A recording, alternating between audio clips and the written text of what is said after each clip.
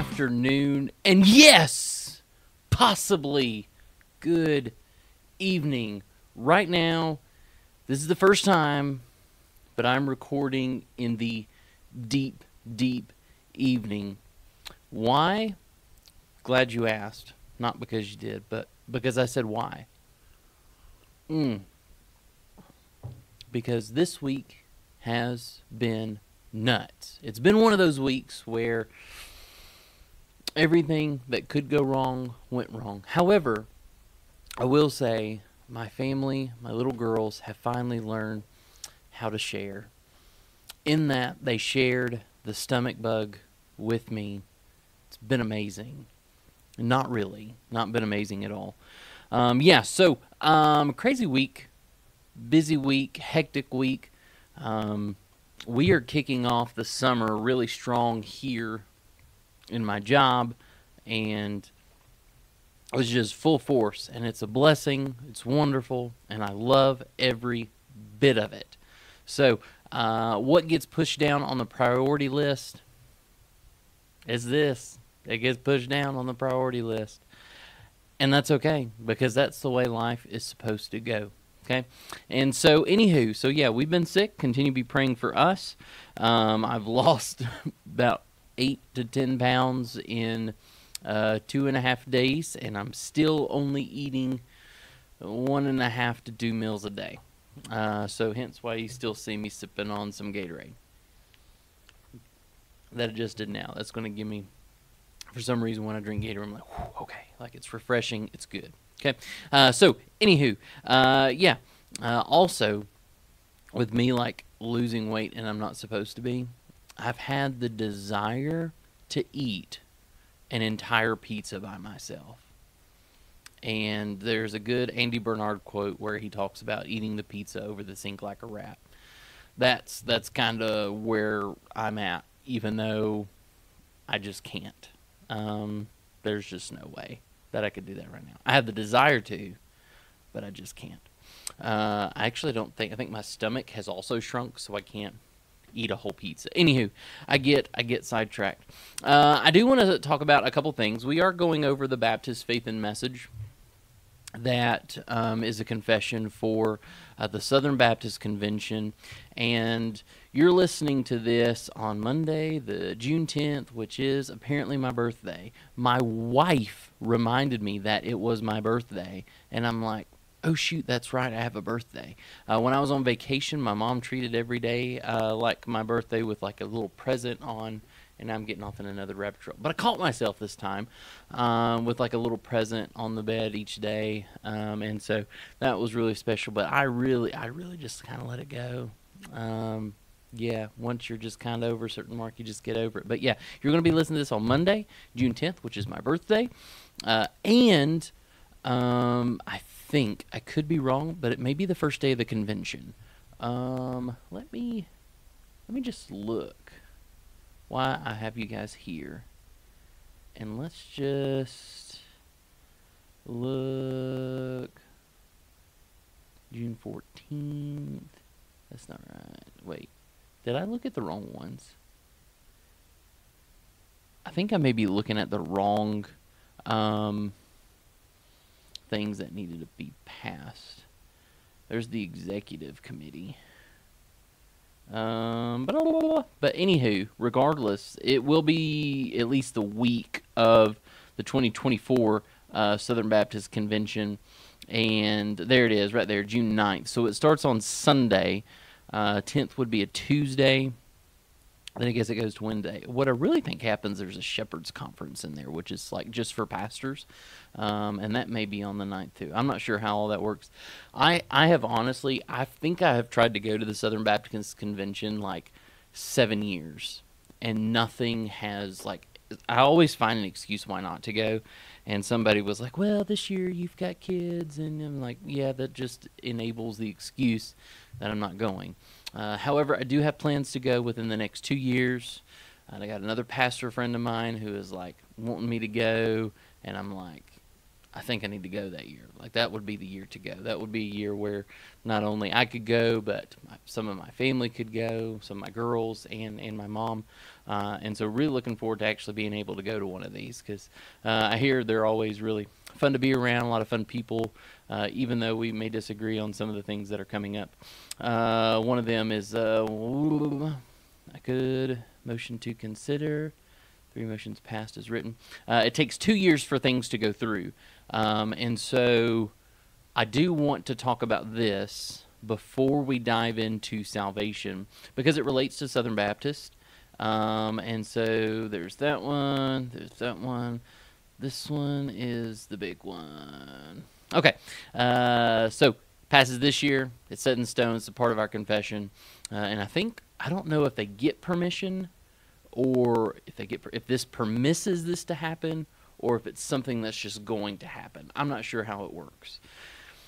I move that the messengers of this convention amend Article 6 of the Baptist Faith and Message 2000 in keeping with its uh, historical roots founded uh, in the Baptist Faith and Message 1925, adding the words elder and overseer alongside the use of the word pastor. And I think that's because of the term presbyteros, um, uh, poimen, all those are kind of used interchangeably uh, in the Greek. Um, the amended portion of the article would read uh, In such a congregation, each member is responsible and accountable to Christ as Lord. Uh, this kind of talks about how, this kind of reminds me at least of how the Lord is uh, Lord over the conscience.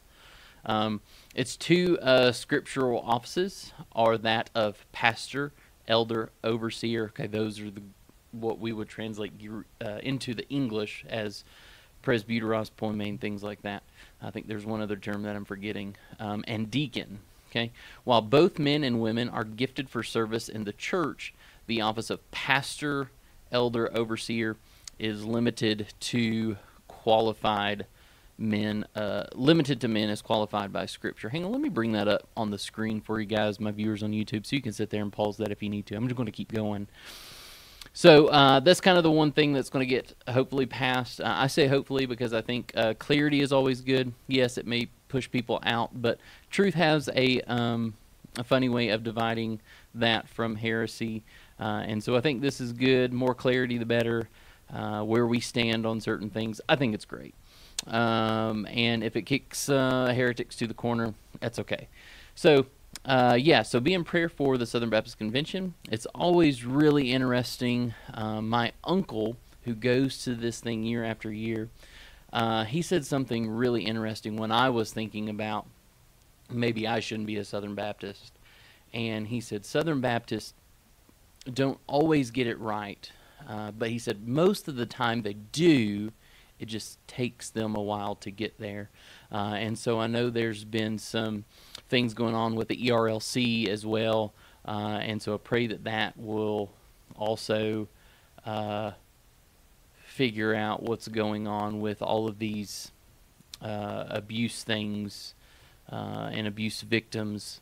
I pray that they get that situated as well because that's that's a bigger issue to me at least than than that. Um, so, uh, Southern Baptist Convention, be in prayer for that as it is going on as you are listening to this. Uh, anywho, we are going to sh- go straight into our um, lovely, uh, what do you call it? Our confession, our Baptist faith men. We're going to go over salvation today. Okay, you ready? All right, that's like nine minutes worth of stuff before we get into it. So uh, let's pray this goes quicker. All right, let's go.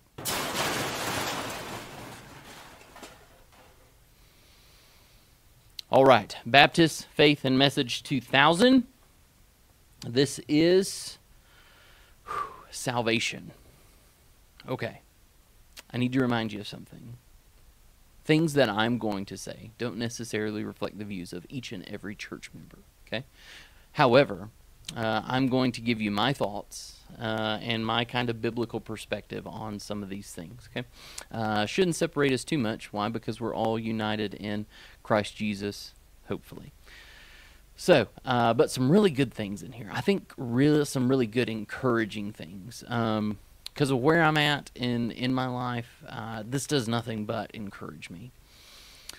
Salvation involves the redemption of the whole man and is offered freely to all who accept Christ Jesus as Lord and Savior, by whom his own blood obtained eternal redemption for the believer. In its broadest sense, salvation includes regeneration, justification, sanctification, and glorification. There is no salvation apart from personal faith in Jesus Christ as Lord. Amen. We love this. Okay, uh, so it's the redemption of the whole body, the whole man, uh, not the whole body, but the whole man. Uh, and we'll talk about the body when we get to glorification. Uh, and is offered freely to all. Okay, so as we know, God desires all men to be saved. It is offered, uh, by whom His own blood obtained eternal redemption for the believer. Okay, uh, in its broadest sense. So it's it's wanting that, you know, big scope. Um, of salvation that includes okay and it breaks it down into uh, four parts. Uh, when i talk about um, the three stages of the christian faith I generally include justification, sanctification, glorification. Uh, this one actually adds one, uh, and that's regeneration. Uh, and so we're going to spend a little bit of time on that, uh, on regeneration more so than justification, sanctification, and glorification. Uh, however, we'll look at kind of a, a big text for. Or, or a small text for justification, sanctification, and glorification. Okay, and then the last part there is no salvation apart from personal faith in Jesus Christ as Lord. Okay, uh, so here we talk about how salvation is inclusive for all, like it is for every tribe, every nation, people of every tongue. It is for everybody. God desires all types of men uh, to be saved. Okay.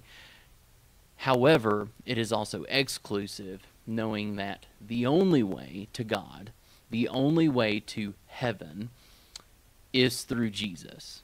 There's your exclusivity. So when people ask me, is the Bible or is the gospel inclusive or exclusive?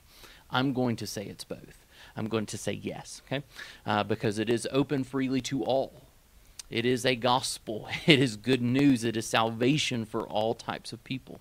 Uh, however, it is exclusive in that um, I do not believe, and as a part of a Southern Baptist, I do not believe that Allah, a Buddha, is going to get you to God. I do not believe you will be glorified in the sense of having a perfect body and living here on the new heaven and new earth according to Revelation. Okay? So, uh, and then it breaks it down into those parts. So I'm just going to leave that there and go in because it, it, breaks it down into these four parts. And regeneration is uh, one that I think is I'm glad they did this uh, in a sense that it's just so encouraging knowing that um, God has chosen priesthood, and um, that is lovely and a picture of love that we don't truly get uh, unless there is this external force that is desiring me and redeems me um, despite who I am. I don't get that. I don't get this type of love I don't get this type of redemption from anything else other than Christ Jesus our Lord. Anyway, regeneration. Okay, uh, regeneration. This is what it says in the Baptist Faith and Message. Regeneration or the new birth. So we're going to they're going to use those interchangeably. Okay, I think I would as well. Uh, is a work of God's grace whereby believers become new creation. Okay, you can think Colossians two. Okay, uh, it is a change of heart wrought by the Holy Spirit through conviction of sin to which the sinner responds in repentance toward God and faith in Lord Jesus Christ, in the Lord Jesus Christ. Okay? Repentance and faith are inseparable experiences of grace. Okay? Uh, we believe that. Repentance and faith are inseparable. Okay? Uh, but here's kind of the, the conundrum. I, I heard um, a sermon or heard a soundbite over Alistair Begg, and he talks about the thief on the cross. And uh, the thief on the cross had uh, no prior knowledge of what justification meant, or sanctification, or glorification. Like he didn't have a position on certain things. He didn't know, you know, if it was right or wrong for a woman to be pastor. He just right there in that moment, only thing we know is that Jesus redeemed him, possibly right there on the cross when he said, uh, This day you will be with me in paradise. We don't know how he stood on baptism, okay? We just know that Jesus stepped in his place and he was saved, okay? Uh, so uh, he had repentance of what he did and he had the act of faith to say what he said on the cross, okay? So they're inseparable even on the cross. However, for us believers who have that moment of faith, and I'm going to talk, I'm going to say this multiple times, so forgive me. This all happens in a moment, even though we're going to kind of dig in a little push over certain things. When you have faith in Jesus Christ, it is going to lead to obedience. It is going to lead you to act and follow the Lord Jesus regardless.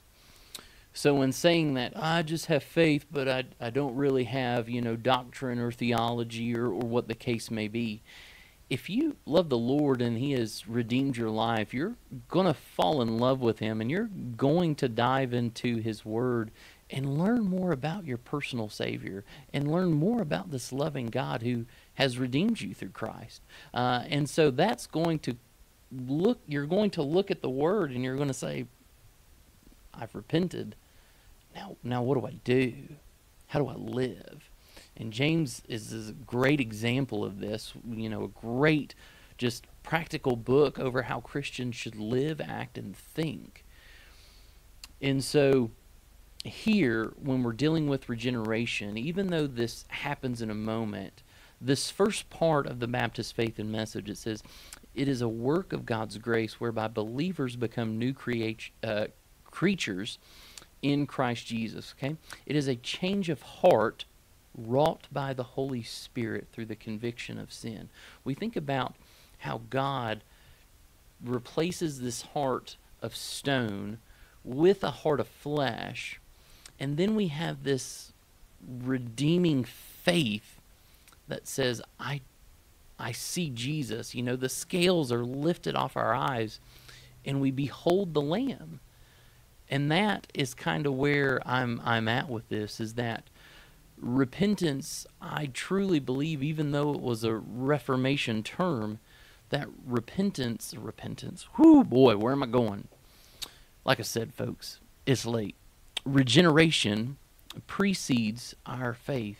Uh, and so when we think about justification and that promised seal of the Holy Spirit, regeneration right here is going to precede us having faith. Now, it all happens in a moment, but it is God who initiates this. And let me just uh, kind of share some verses for you. Philippians 1:29 it says, "For it has been granted to you that for the sake of Christ you should not only believe in him, but also suffer for his sake." 2 Corinthians 4 uh, 4 through 6 says, in their case, the God of this world, the God of this world, has blinded the minds of unbelievers uh, to keep them from seeing the light of the gospel of the glory of Christ, who is the image of God. For what we proclaim is not ourselves, but Christ Jesus is Lord. Okay, uh, John three seven through eight. Uh, Do not marvel that I said to you, you must be born again. The wind blows where it wishes, and you hear its sound but you do not know where it comes from or where it goes. So it is with everyone who is born of the Spirit. John uh, six forty four, uh, probably uh, one of the one of my favorite passages in thinking about uh, how God redeems me despite who I am, and then I'm coming to faith. It says that no one can come to me unless the Father who sent me draws him, and I will raise him up. Correcting his opponents with gentleness, God may perhaps grant them repentance, leading to the knowledge of truth. That's 2 Timothy 2.25. Okay? Uh, so, there you have it. That's just where I'm standing with repentance and regeneration preceding faith. Okay? Uh, now, let's keep going because we're already 19 minutes into this, and so I want to kind of be quick. Um, so, uh, justification, it's God's gracious and full acquittal upon principles of his righteousness of all sinners who repent and believe in Christ. Justification brings the believer unto a salvation or to a relationship of peace and favor with God. peace with God. When uh, Genesis 3:15 says, "I will put enmity there," and then all of a sudden there is there is peace through Jesus Christ. So not only do we have peace in our lives and peace with others, we have peace with a holy God uh, who has a righteous wrath stored up against non-believers, and yet we have peace with Him through Jesus Christ. Justification, such a sweet sweet song of redemption. Okay, uh, and this peace is everlasting. Okay, uh, so when I think about the Christian life and it being broken down into these three stages, justification is you're justified with Christ sanctification being uh, you're becoming more conformed into the image of Christ, and then glorification is going to be ultimately your glorified, new, resurrected body. Okay, that's what I would distinguish. Okay, I just read to you justification. Uh, let me read sanctification.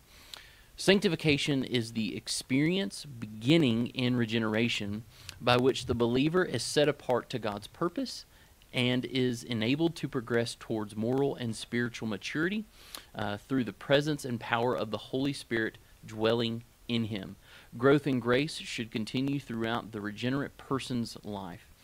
This is what's real beautiful and what I meant by when you're when you're sealed with the promised Holy Spirit that you're going to you're going to act in faith and you're going to be constantly conformed and into the image of Christ. And this is like a painstaking process uh, because many of you know have lived life. Um, life is short, it is full of valleys, it is full of hills, uh, it is full of highs, full of lows. Uh, just like I said this week, uh, pretty rough. Um, pretty rough. I'm just going to say this, just rough. Yet there's still peace there. Uh, God is teaching me something through all of this, knowing that He's the one in charge and I'm not. And there, just in, in saying that, there's peace, knowing that God's in charge and I'm not. Because if I was in charge um, as, uh, oh my gosh, I want to say my wife quotes this from a TV show, but I don't remember what it's called. But we're going to, uh, if I can say hell, uh, in a Gucci knock, knockoff handbag. Okay, uh, so uh, if I was in charge, that's exactly what would happen. Okay, uh, but remember this. Uh, I remember our pastor has said this to me more than once. But the power of the Holy Spirit dwelling in him, and that's who we have as our advocate, who is continually working towards us and interceding for us, helping us do the right thing. We, I'll, I'll be honest. I, I think that I agree in saying that we really don't tap into him as much as we could. Uh, I think sometimes we do treat him as the cousin Eddie of the Trinity, uh, but he is the one who is residing in us and helping us move towards more like Christ. Uh, and so let me just say that, okay? And then we have our last point, which is glorification, okay? Uh, this is what the, the B fam says on glorification, and then we will quickly close. Glorification is the culmination of salvation and is the final blessed and abiding state of the redeemed. Okay, new resurrected bodies. Okay, uh, I want to close with some scripture. I preached on these three. This was the very first sermon I did uh, at the church I am with now, and I think it was more like a trial run. Let's see what he's going to talk about. And um, I don't think it was really good. Uh, but anywho, uh, this uh, reading this text reminds me of the the first sermon I did here, and uh, I love this text. Okay, uh, this comes from Philippians chapter three, uh, verse twelve is where I'm going to start. It kind of hits at least two of the three, if not all three. Not that I have um, already obtained this or am already perfect, but I press on to make it my own. Okay. Uh, not that he has already obtained glorification, but he's continuing pressing on. So you've got sanctification right there. Uh, because Christ Jesus has made me his own. Okay, there's there's justification right there. Uh, brothers, I do not consider that I have made it my own, but one thing I do, forgetting what lies behind and straining forward to what lies ahead. I press on toward the goal of the prize of the upward call of God in Christ Jesus. Let those of us who are mature think this way, and if anything, you think otherwise, God will reveal it to you also. Only let us hold true to what we have attained. What have you attained? And the last little bit, the so what is, what have you attained? Well, I know for me personally, because of the great God in the highest have, I have obtained salvation through the Lord Jesus Christ. And through the power of the Holy Spirit, I will continue attempting to do my very best in honoring and glorifying the Lord with the time I am given. Therefore, the challenge is so for you, so that you're not just sitting here thinking of this step, even though this step is whew, so sweet. Think of your sanctification. How am I going to live the rest of my days to honor and glorify the Lord? I know that I've just recently had a struggle with this in the past month. I think God is really teaching me something about time and how I spend my time. And if I do one thing that, that I really enjoy, but it also takes away from something else that could be glorifying to the Lord. I'm I'm really just wanting to maximize that to the best of the Holy Spirit of my given ability. Okay? So make no mistake, it, it's God's part who redeems us, but after that, it is up to us and helping and, well, not really helping, but the Holy Spirit advocating for us and resting and trusting in the goodness of God to fulfill God's purpose in our life. Okay? So the challenge is how are you going to spend the rest of your days? Are you going to continue looking at the past? Or are you going to press on and say, if God allows, I will do? That's my challenge for you folks. I hope you guys have a great Jesus filled week. And the Lord willing, we're going to catch you in the next one. All right? Sound good? All right. Bye, everybody. Hope you guys have